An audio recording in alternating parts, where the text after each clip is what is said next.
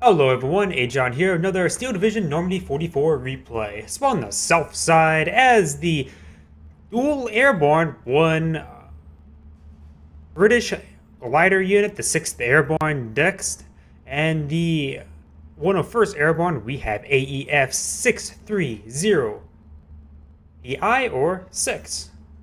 Looks like the British player is over here, United States player is over here, and we got more United States across the center of the map. So on the north side, as the Axis player, we have 17th SS Panzer Grenadier, which he will be on the right side. Time to Git Gud.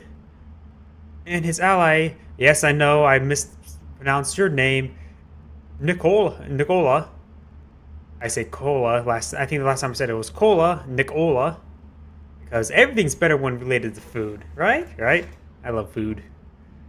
As the, I probably should mention, he's also the 716th Infantry. We've got Nebelwerfer Barrage here. Very, very premature. However, this flame can be a bit problematic because there's flame on the road. It can actually destroy the transport, if not even as well burn the infantry alive. We've got various infantry here. Something to note here, the Panzer, the 716th Infantry has the 100 income, SS Panzer Grenadier. Over here, 100 income, 101st, and 75, no, 70 income down here, 70, 100, 75. Meaning, most likely this flank will be pushed forward because he has more income. This flank will be pushed forward here because of more income. We got a large number of Pathfinders here. We only got some uh, basic Osttroop here. We also got, ooh, a Mosquito Pathfinder. Mosquito Pathfinder is an excellent incendiary bomber that burn these guys alive. Burn, burn. Sorry. Burn. There we go. Hopefully that's out of my system, but I love the Mosquito Pathfinder. It's one, I would say probably one of the strongest aircraft in the game, other than the HS-129. Or the French smoke aircraft. I honestly have never really been seen seen that used. Actually, actually, the Storch, the reconnaissance aircraft, is hardly ever used. Let alone that. We do got the Mosquito Pathfinder coming on in for a strafing run as well. Not uh, in Winchester evac. We'll go ahead and provide very good support. And he, seeing how he has less income, gaining quite a bit of ground here is actually quite important. Plus one in uh, tickets in favor of the allied players which will can help go a long way, assuming they maintain it. We got some stormtroopers here, various other units. A lot of stormtroopers, actually. These stormtroopers do, of course, have the Panzerfaust. More reinforcing infantry here, Willys M8, well, MB, not M8. We got Panzer Lorraine. Note the Panzer Lorraine is French. I something I found out recently. The F there, you can see that name it means it is Frenchy, captured French unit. We got some M22s now moving on forward. We also got a 50 here. We'll suppress these Staatstroop, troops, no problem. We'll probably wipe them out. These Panzer Grenadiers, they do not have Panzerfaust, but I actually prefer this variant. It makes them much cheaper, and you only really... Panzerfaust, you really don't often use them against vehicles, so and it makes it really ups the price. This uh, Panzer Lorraine is getting hit by the Mosquito. The Mosquito can can take it out. However, it, it does it, it is very resilient. Even though it is it is open top, it can be taken out by aircraft. Uh, the longer the stays loitering, the longer it will take for it to rearm the next time for incendiary bomber. Do got some uh, AA coming on in. And we do also have some B2s now moving forward. B2s are a French heavy, uh, heavier tank. No, it was heavy at the time before they got captured. It has the mortar pestle in front as well. I think that is the name of that frontal weapon. But I'm not so sure how what else to call it. We've got some Panzer grenades to move forward. We do got the PaK 38 here. PaK 38 can easily penetrate the frontal armor of the M22 at this range. Looks like there's, uh, I think there's a Piat team did get cleaned up. We do got the airborne paras moving on forward. The airborne paras, the the British variant, the United Kingdom forces, do, of course, have four SMGs, so they're excellent at a close range. We've got some reinforcing Osttruppen. They do, of course, have the LMG in comparison to the Struppen, which do not. We do got some uh, Hotchkisses now moving forward as well. Over here, we do got a lot of indirect fire. Nope, it's just the Nebelwerfer Barrage that makes it look like a lot. But it is a heavy, very heavy artillery piece. We'll pin down these units, preventing them from moving forward.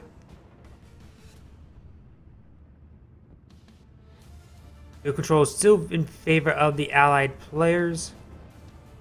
And looks like this Mosquito Pathfinder will finally be forced back.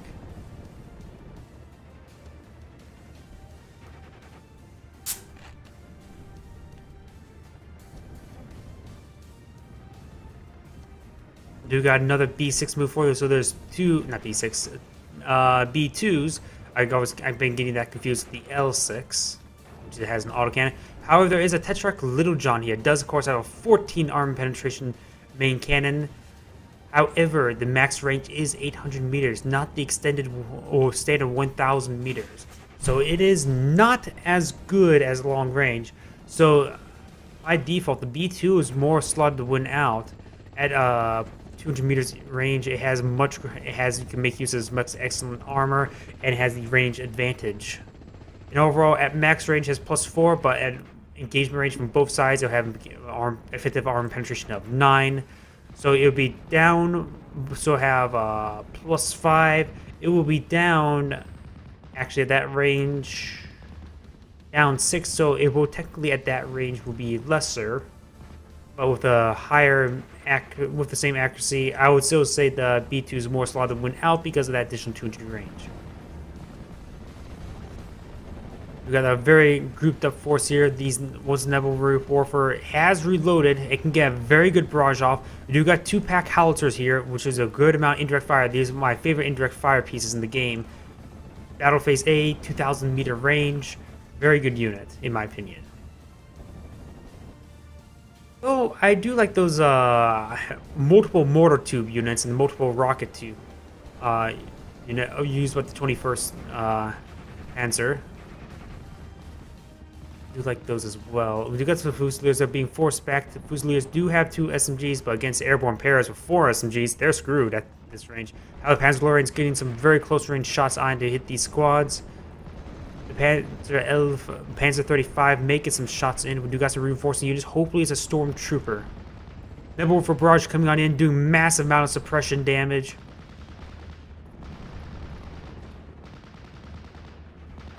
But these Panzer Grenadiers will be forced back. There's still a Stormtrooper. They do, of course, have Panzerfaust, so they can still fight the, the tanks.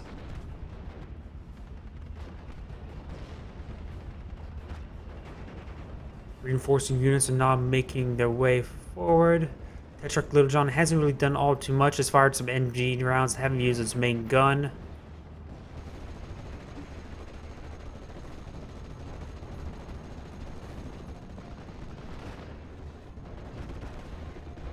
It looks like, I think Neb, yeah, these guys are just so pinned down from the Nebelwerfer Barrage. Stormtroopers are now in ra range of these airborne rifles, but the airborne rifles have just have way too many men for them to deal with. Plus, it's also supporting nearby units. Pack they could try eyeing the counter barrage Nebelwerfer. They do have longer range. It's out of range at the moment. So he, if he can take out that, he will be in much better position. Looks like these Pathfinders have thrown out their smoke grenades. Very nice. I like seeing those smoke grenades being used up. This team is perhaps trying to eye hitting this B2. Tetrarch is... Two Tetrarchs are on the field. Two Tetrarch Little Johns.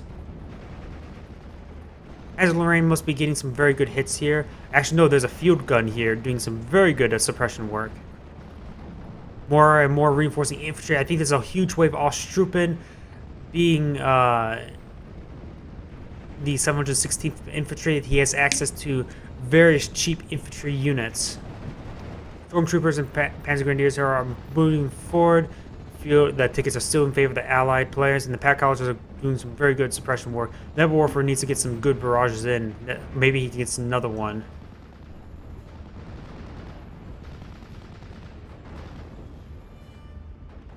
Tetrarch Little Johns haven't done all too much. Oh, this one got taken out by this B2, I believe. It's using use of arm penetration and now engaging the other one. So yeah, using its max range advantage, takes out one of the Little Johns. And also that Mortar Pestle will uh, provide a decent amount of suppression. Ooh, there goes the other one. Very nice. We do got another Mosquito Pathfinder run. Right here will be ideal. I think the bombs are heading there. No, they're hitting the Fusiliers. Two more Osttrooper now out on the field. Another, and this field gun's currently hitting the Chaffee, which the Chaffee will be forced back. Looks like there's a huge number of airborne units now moving forward. There's nothing huge for defend. There is a PaK 40, which does have access to HE rounds, which makes it pretty effective versus them.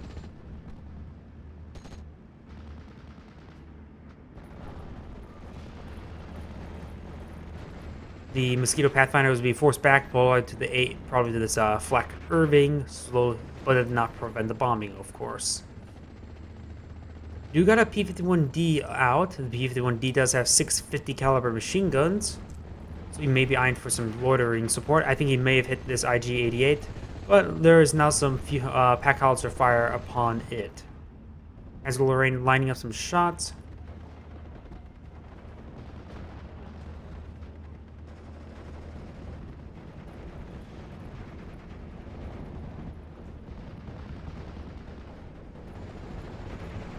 We've got a large number of Panzer Grenadiers here. Looks like the Panzer Grenadier unit is holding the line against superior income. Battle Phase B has been initiated for about two minutes now. Now the economies are starting to be leveled out between the aggressive and not so aggressive. In fact, the not so aggressive ones in the beginning Battle Phase A now has substantial income and now even lead. So now this flank will be more likely to be pushed forward, while this flank could be more likely to be pushed back. We got attack beacon here. I think the Nebelwerfer is ready to fire, so he can do some very good amount of work there. Over here, Armor 5 is not deployed out, but it is in range of a pack 37 47 millimeter. More and more artillery pieces coming forward. This is a lot of artillery. We need to see more counter artillery uh, fire. PaK howitzers have not been firing against any other artillery pieces. There is a, a supply jeep, but that will run out of ammo quickly. And still got these B2s in the air. These B2s will wreak havoc against any infantry units, such as the Airborne Composition Force. And the Panzer Grenadier unit can bring in some more heavier assets. We also got some Cromwell, two Cromwell fires now move out. Most of this Pack 37 is pinned down on the one member, so most of it will be taken out do got this Hotchkiss doing quite a bit of suppression, actually.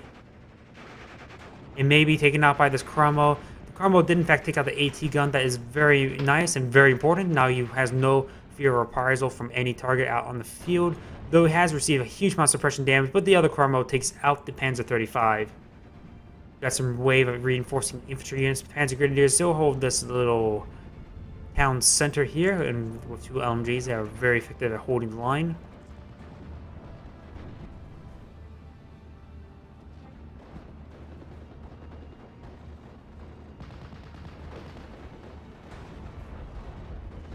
Pioneers started making their way forward. There is these airborne paras, however, but these bundle grenades can wreak havoc against these infantry units because you don't need much to throw a gigantic ass grenade. You don't need much veterancy, you don't need lots of SMGs. You just need to throw giant ass grenades at your opponent. Next grenade is out will soon be out, which will help destroy. That unit actually surrenders. This grenade is now out, wipes out that unit. Now this force is cleared out by using these cheap Pioneers over these expensive pair, airborne paras. And they both still have additional bundle grenade. Pioneers are excellent garrison clearing and force clearing tools. Same thing with uh, Pioneers and Sturm Pioneers and Assault Engineers. We got command steward here as well as some various reinforcing infantry units. We got still this Nebelwerfer. We do got a PaK 43 now moving for the front line as well as some reinforcing infantry. A lot of reinforcing infantry and a mass fallback from these units. We do got uh, the officer unit is still not in a fallback state. If you get that to a fallback state, these units will start surrendering. The Pathfinder is has recovered. It is a Sturm. It is a Sturm Pioneer squad. He will force surrender here. Then this one will surrender. Then this one will surrender. Three, two, one. Soon, anyways. Spanish Grenadier finds this AT gun, we'll take it out. We do got a huge reinforcing wave infantry, but he's lost a severe amount of ground. He needs to establish the front line here quickly. You got multiple Cromwells here, still the same too, as well as supporting air landing. Air landing, of course, at the border, mostly uh, Bren as well as a Piat, but only seven men, so they're not all too effective, but they're much cheaper. They're battle phase B. Don't have any stars of registry as well. There's three Panzer Lorraine fires. There's still two band B2s out. This is a fresh one. One of them has in fact gone down. There's also Marauder 1 anti-tank. However, this uh, Mosquito Pathfinder is going to do a massive uh, flame run, which will burn, start burning these uh, units out of the forest. Cromwell fires are going to be engaging these units as well. G34 will get starting to get hit. You will oh big suppression. There may be this this uh heavy field gun. This is a field gun, not an artillery piece. Yeah, thousand meter range is a heavy field gun. Over here, it may have been the Nebelwerfer is currently reloading, so massive barrage here by the Nebelwerfer. This unit is stuck in the flames, so he needs to retreat that back so out so it doesn't get burned to death. So the B2 over here will get forced back, but there's enough AA here to help ward away any additional strikes. There goes the Cromwell. The other one is already down to the Marauder. Currently has fired two arm-piercing shots, takes them both out. Very lucky. There's still the Humber Mark III off an autocannon, but that'll be quickly killed off by this Marauder. Not Marauder, but Martyr. Not Martyr, but Martyr. I always get those names mixed up. Marauder Martyr, and Martyr. All the same to me, pretty much. All involving death. You got a uh, Sherman DD fighting as a Panzer IV. The Panzer IV does, of course, have two stars of veterancy, and will take out the Sherman tank there. This unit's still pinned down for that Nebelwerfer barrage. There is, in fact, another Nebelwerfer, so there's going to be a lot of indirect fire across the Axis board, we've got like three or four Panzer Lorraines, two Nebelwerfers, heavy field guns, mortar team, versus just two pack howitzers. Oh, there was a pack howitzer here, but just got wiped out. There goes that enemy aircraft, or Axis aircraft. Another Nebelwerfer barrage coming on in. These units haven't even covered from their original suppression. Now this is going to be annihilating. We'll take out one infantry unit entirely. You got these pioneers that are pinned down to the recon units may in fact force to surrender, but they're currently the whole fire say. There goes that M20, not big surprise.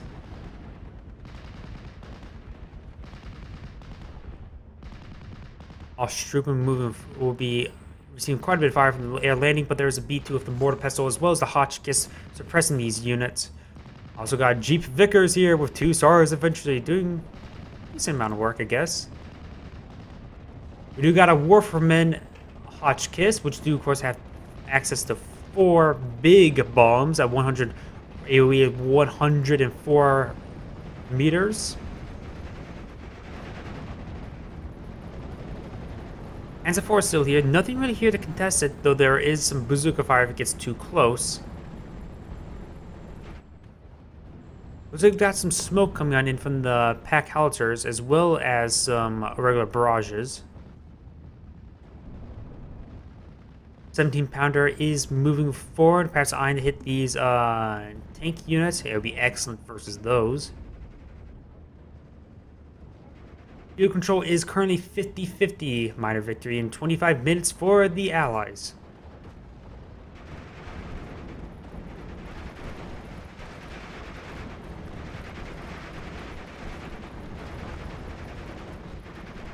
Ladder leader will get pinned down. There's a huge amount of uh, pioneers here, which shows you, while you may not have the best infantry units, a cheap spam is incredibly effective, unless you get hit by a, a rocket artillery or bombing runs. Which reminds me, we haven't seen we've seen the mosquito pathfinders doing all too all doing very good. What about some B-26 Marauder Marauders, not martyrs, but Marauders? There is this PaK 43. It probably is spotted spotted by this Pathfinder unit. Also a Browning here. You got uh, Typhoon coming in for a couple bombs. It has two 15 HE bombs. They did get two units very there, very nice, and we'll force a fall back there. We do got the Panzer suppressing this group. There's nothing much really here to defend. There is a lot of reinforcing units. This is exactly what he needs. But you can see based on the map, there's a lot more Axis units out. Cheap spam is can be quite effective. Panzer IV will pin down both these M1 AT guns. That's actually quite important. Now they're just going to be slowly picked away do got an M8 Scott here. Good Scott! Fire! As well as a Greyhound, but he really needs something to take on that tank. The Greyhound does not have a strong enough uh, weapon. Tracks broken the on the command unit. It doesn't use tracks, it has wheels. Oh well. Falling back, but can't fall back. It has four flat tires. More like a more likely a broken axle for that unit in order it to be immobile.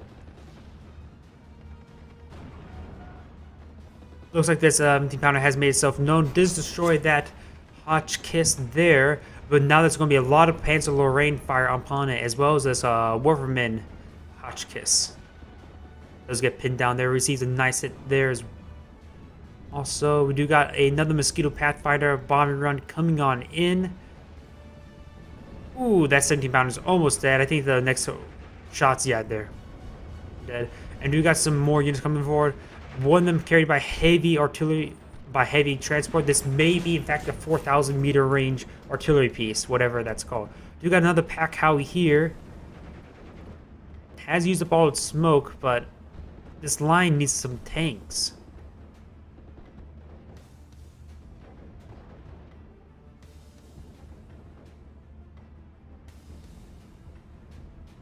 Wait a second.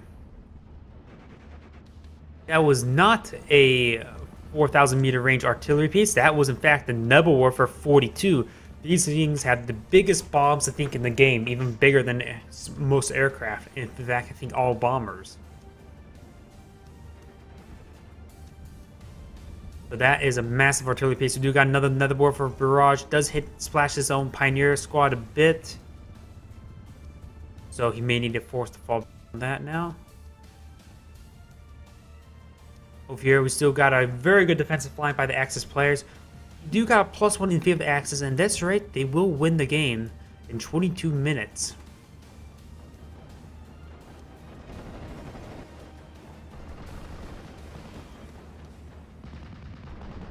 Pioneers here, they do have the bundle grenades, but however, I think they're just out of range. Oh, but you got a, the Wurfrahmen barrage coming on in. We'll be doing some very big bombs. Rolls a bunch of misses, however. It's one model, nothing much.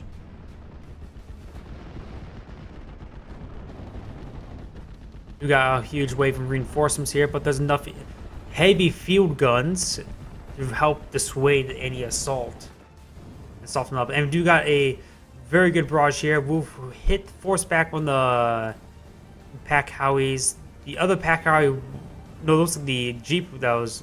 Nope, the Jeep's still here. With one bullet left. But we do... Yeah, we do have, in fact, the very long-range artillery piece. So we do have a good amount of indirect uh, counter artillery for the Axis players, or the Allied players do not have all much many units to the left. Battle phase C has been initiated for about five, well, about four minutes now. At this rate, the Axis players are going to win out.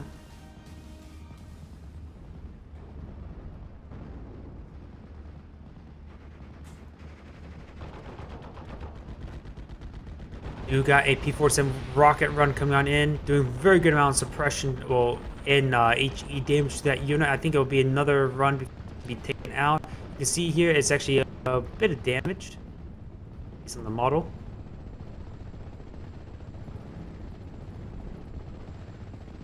There goes another 17 pounder as well as the airborne sniper getting mortared to death.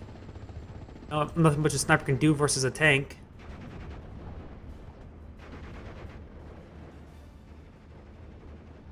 And I just think this game is in the Axis players' bags.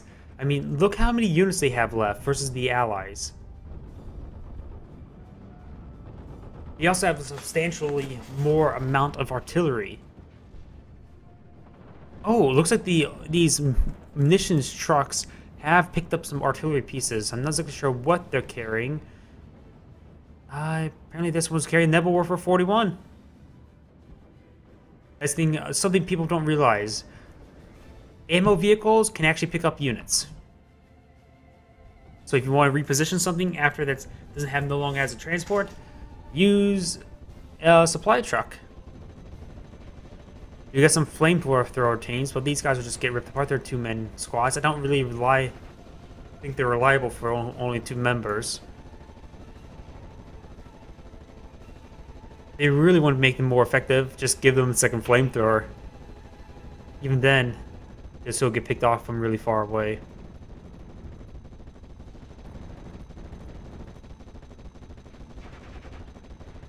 These grenadiers only have one LMG. They're not all too effective. Oh, these are not Panzer Grenadiers. They're just regular Grenadiers. Sheep figures will actually maybe taken out. Yes, it does, because that's zero armor. But Pioneers do have a TNT charge. If you were to run forward, perhaps that one member can't throw the charge. Incendiary bombing run coming on in. Rolls a huge miss. Not a whole lot of air superiority by the Axis players. In fact, you only saw that one ME-109 that got splashed down. You got Flak 88 now coming on forward. Heavy AAP slash anti-tank.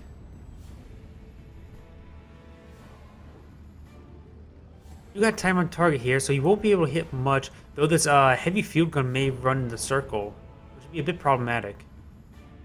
It is a 203 millimeter Colin.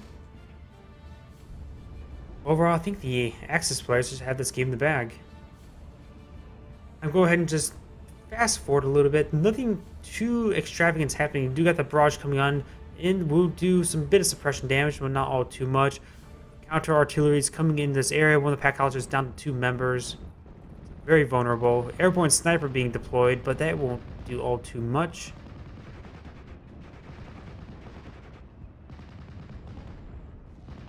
You got Challenger here, so we do have a heavier tank out. It is a Cromwell, a 17 pounder. Another call-in over here will do did do quite a bit of a good amount of suppression. And the heavy field gun was going pinned down by the pack all the pack howitzer shots. But we do got a Stug now engaging as well as counter artillery onto the area. We got rocket run coming on in. This Stug 4 is very close to death will be forced back by a pack howitzer shot. But there goes the one, the pack howitzers. This one is getting picked apart as well. This one's down to one member. So the Axis, the Allied line is really going down. We do got the Challengers now engaging over here. Number of machine gun carriers, machine gun jeep, man carrier is now moving forward. Suppress the number of units, but there is a Pack 37 engaging them. Reinforcing infantry squads coming down the center of the map. There's nothing really much to defend. There is a Scott, but the Panzer 35 can engage that.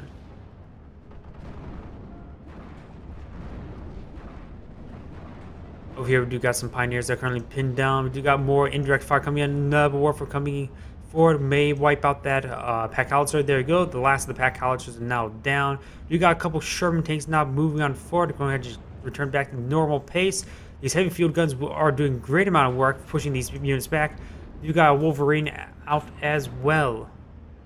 These heavy field guns may be uh, forced to fall back soon. Oh, it's this one. Yeah, it gets pinned down before firing off this next shot and probably will get killed off. You got a Italian unit coming forward. Does of course have access to two Italian submachine guns, the Berettas 39, as well as the MG 34 light machine gun and some Panzerfaust.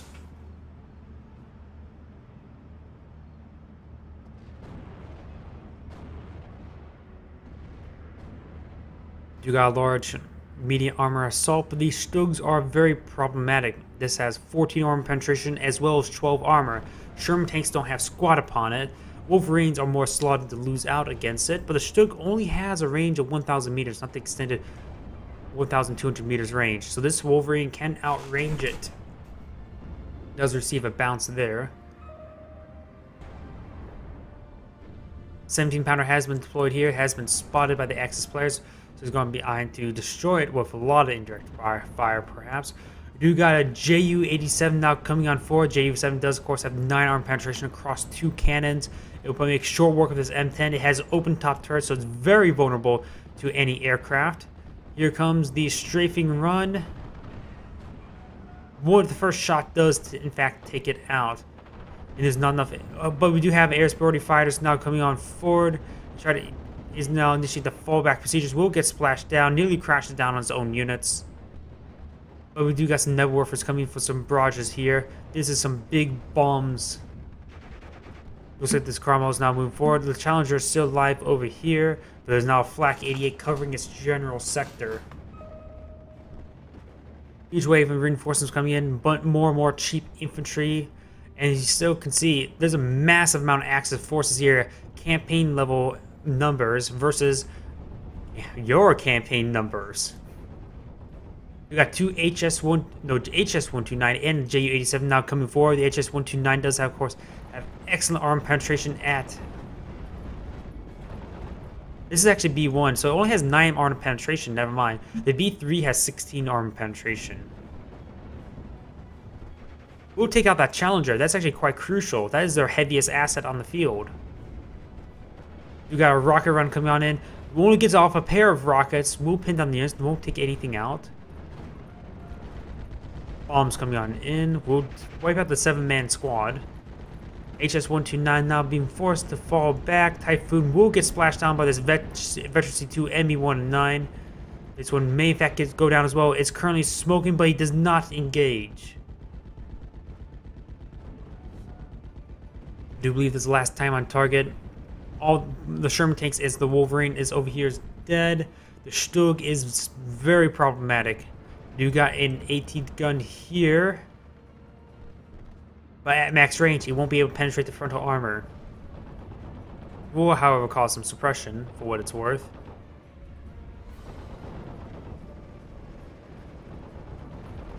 These reinforcing infantry units are just going to get wiped out. Currently, the Axis players have plus two economy. They have sustained a substantial amount of tickets. I'm going to just initiate a fast forward. There's nothing much the allies have left. They're just being a bit stubborn and not surrendering. At this rate, they have nothing. If their opponents have so sizable indirect fire, sizable ground forces, while they have pretty much nothing.